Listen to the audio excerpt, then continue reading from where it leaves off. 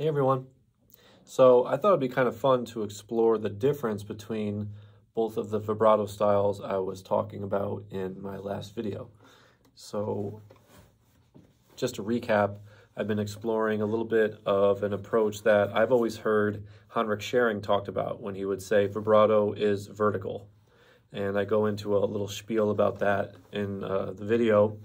And I'm still exploring it for myself to see uh, if I can loosen up uh, residual tension that I have in my technique here.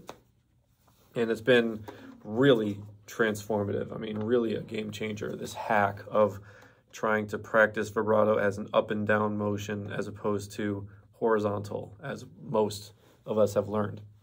So I'm going to play a little bit of a, an excerpt and just to explore the difference. So first I'll try the, uh, the normal way that I play, okay? This is a little bit of meditation from Thais.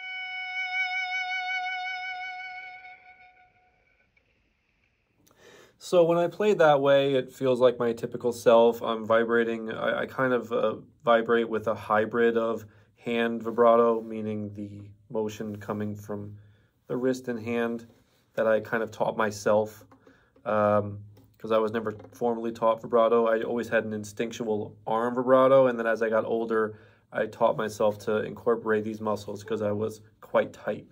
Uh, and then over time, I managed to realize that I always, I just do kind of a combination of both. And I try to really work on feeling vibrato all the way through my fingertip, through my arm, forearm, upper arm, into my back. And that's always helped me keep it more or less released and um, able to play uh, long pieces without getting fatigued. But the vibrato, the vertical way is a complete game changer because it changes the whole concept of how it works. So I'll just play a little bit of that version, even though I'm still working on it, but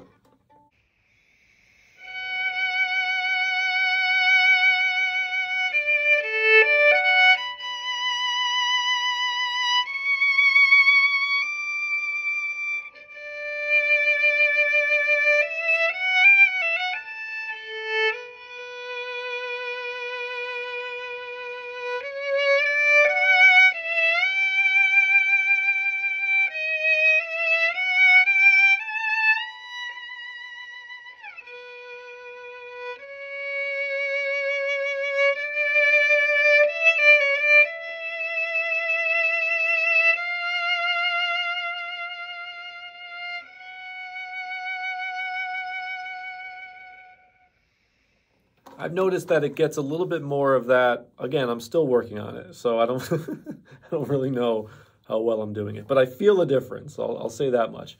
But I feel like it helps a violinist get that, that interesting sound, that kind of layered, throbbing, old-fashioned. Uh, it helps get more layers in the sound and more variety and more speed, which is why I was initially trying this.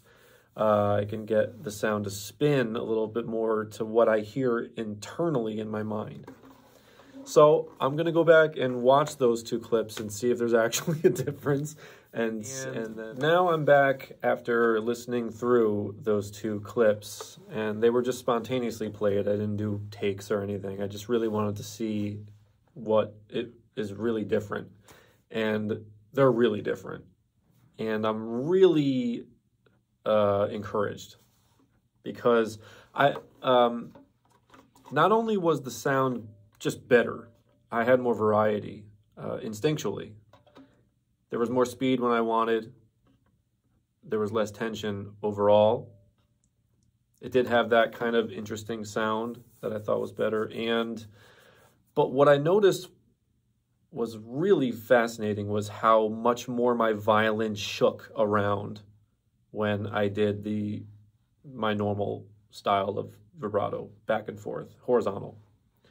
And of course, if any, you know, for anyone who's read all of Simon Fisher's books, which I have, and um, I have been on and off for so many years now, um, it's it's a really difficult exercise to figure out how to play without the violin shaking a lot. And I just noticed that just by playing more vertically, the scroll was much more still. It was moving, but it wasn't like moving from all this tension. So that's for some reason the most encouraging thing to me.